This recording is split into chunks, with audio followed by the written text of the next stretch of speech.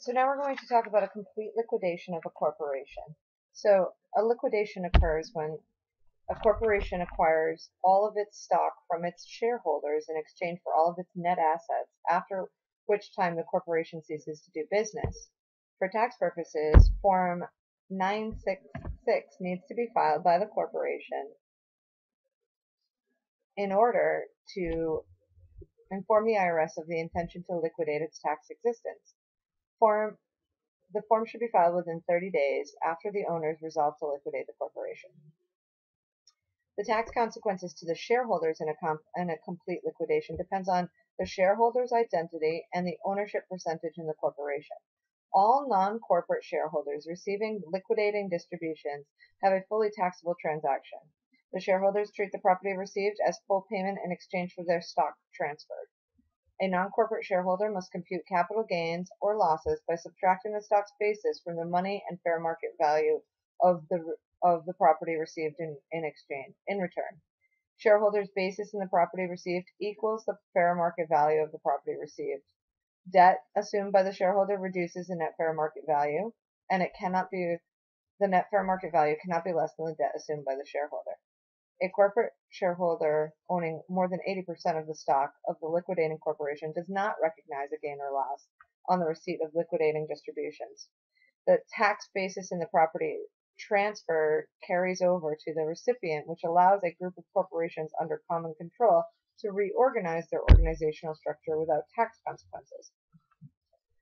If it is a taxable liquidating distribution, the liquidating corporation recognizes all gains and certain losses on taxable distribution of property to shareholders. Liquidating corporation does not recognize a loss if the property is distributed to a related party, uh, distribution in non-pro rata, or an asset distributed is disqualified property. For the definition of disqualified property, uh, it is property acquired within five dates of five years of the distribution in a tax-deferred 351 transaction, or as a non-taxable contribution to capital. Loss on the complete liquidation of a property is not recognized if the property was distributed, was acquired in a 351 transaction, or a contribution to capital, and principal purpose of this contribution was to recognize a loss by liquidating the corporation. Basically, what they don't want you doing is having a non-taxable formation of this and then taking a capital loss by liquidating the corporation. This rule prevents a built-in loss existing at the time of distribution from being recognized by, tr by treating the basis of the property as fair, as it being its fair market value at the time it was contributed to the corporation. This provision is designed as an anti-stuffing provision to prevent shareholders from contributing property with built-in losses to a corporation shortly before liquidation to offset gains proper offset gain property distrib distributed in the liquidation. If we're talking about a non-taxable liquidation, it would be a liquidation the corporation does not recognize a gain or a loss on tax-free distributions of property to an 80% corporate shareholder. Liquidation-related expenses, including the cost of preparing, a, effectuating a plan to complete the liquidation and deduct and are deductible by the liquidating corporation on its final 1120. Deferred or capital expenditures, such as organizational expenditures, are also deductible on the final return. So let's do an example of this, of a liquidating distribution. So a gain and loss on a liquidation of an asset to shareholder is the fair market value of any property received, less any debt assumed by the shareholder, less the adjusted tax basis in the stock equals a gain or a loss on the liquidation.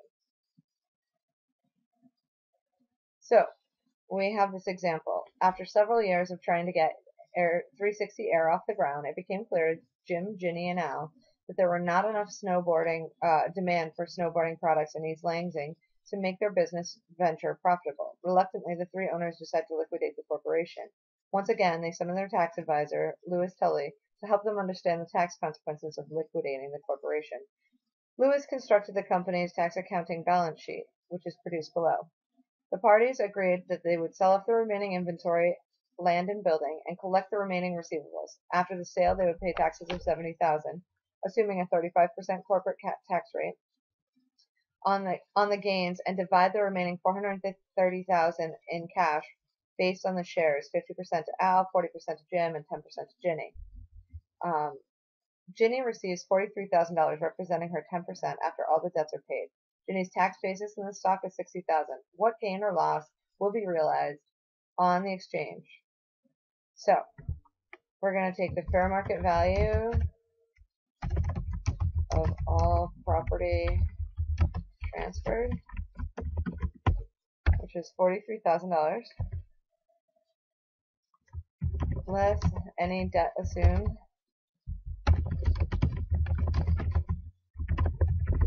which is zero, and less adjusted tax basis in stock. And that's Ginny is $60,000. So gain or loss on liquidation.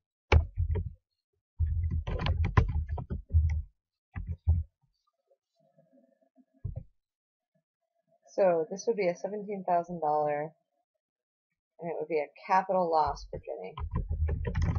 She's held this asset for more than a year. The next question is what amount of this loss will be recognized on the exchange? All of the loss will be recognized by Ginny as a capital loss. All right. Now assume that suppose rather than sell the land, Air distributed 360 Air distributed the land with $15,000 cash to Al, representing his 50% interest in the net fair market value of the company. Uh, Al's stock basis is 100,000.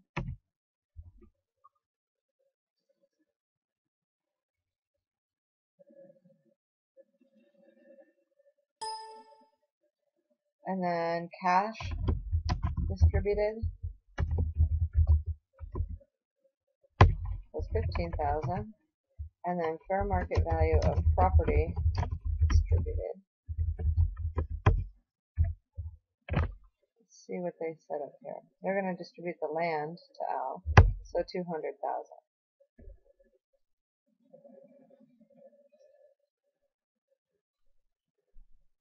What amount of gain or loss will be realized on this transaction? So let's go ahead. I'm going to take this here, up above. Fair market value of all property transferred. $200,000 plus the cash received, $250,000. There is no debt assumed, and there is a $100,000 tax basis. So gain or loss on the distribution for Al would be $115,000.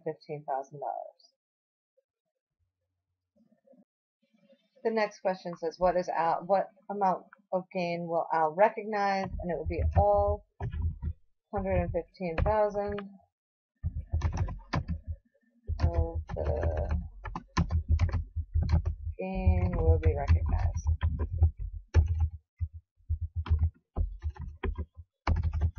And then what is Al's tax basis in the cash and land received?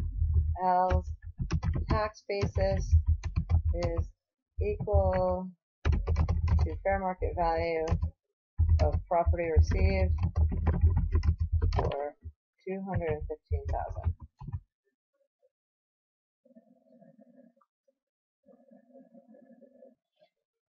Okay, so Next one says, assume a complete liquidation that Jim receives 172,000, representing his 40%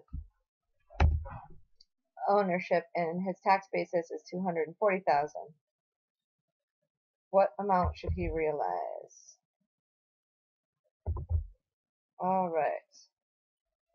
So fair market value of all the property transferred, he got $172,000 cash. He didn't receive any debt. His adjusted basis is 240,000.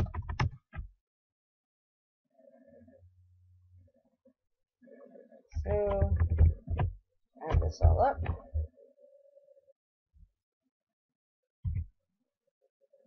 and Jim has a loss of $68,000. The question becomes what amount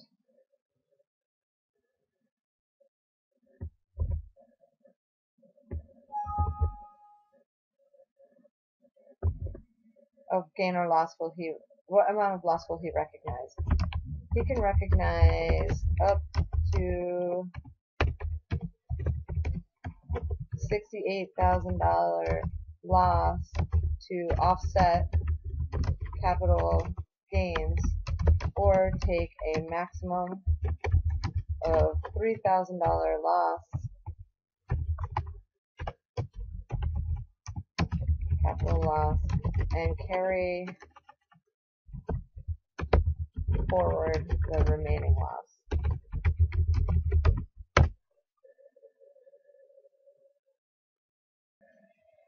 Now let's pretend that 360 Air was 100% owned but as a subsidiary of SCR, and SCR liquidated the company into itself. What and their tax basis was 300,000 in the stock. So how much would they realize as a gain or loss on this? Well, we still take the fair market value of the property received, which is 500,000 total. They didn't assume any debt. The adjusted tax basis is 300,000 as given in the problem. So we're going to add these all up. And there's going to be a gain of $200,000.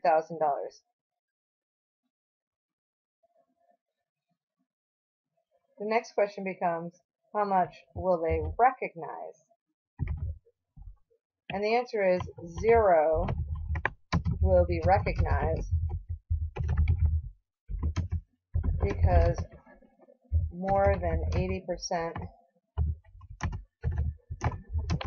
Um, owned by corporate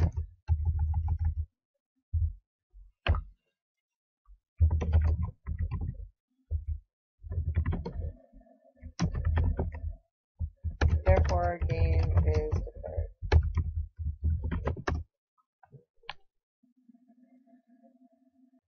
And um, the final question was, what is SRC's tax basis in the assets and liabilities received in the liquidation?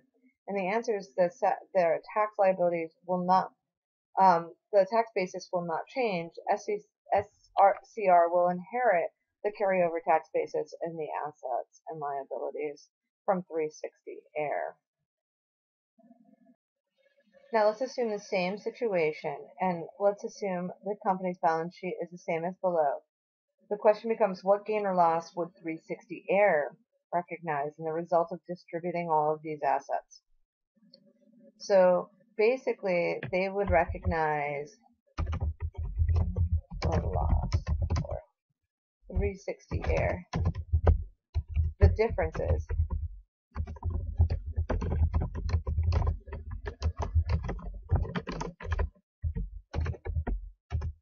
So uh, inventory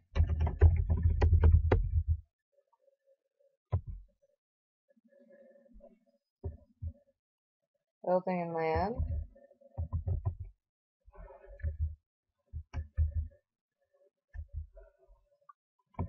Total gain or loss equals the sum of this.